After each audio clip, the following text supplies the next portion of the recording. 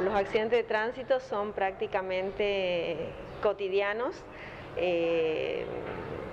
los niños son muy vulnerables por, bueno, por el tamaño, la menor superficie corporal, por lo que por lo general salen despedidos de, de la motocicleta y sí tenemos ingresos de traumatismos graves, sobre todo de cráneo,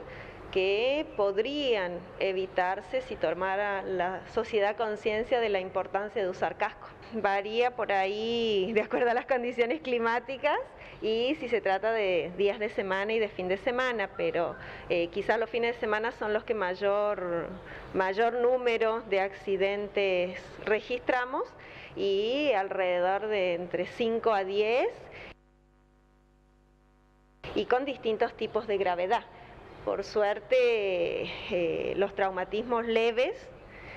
son comunes, pero al, presentar uno grave ya eh, pone en riesgo la vida del niño, así que hay que concientizarnos de cuidarse. También tenemos registros de COVID positivo en niños internados, por lo que justamente esta semana se han afianzado las medidas, volvemos a exigir barbijo, por favor, eh, a la hora de concurrir al hospital, venir en caso de, solamente ser necesario por patologías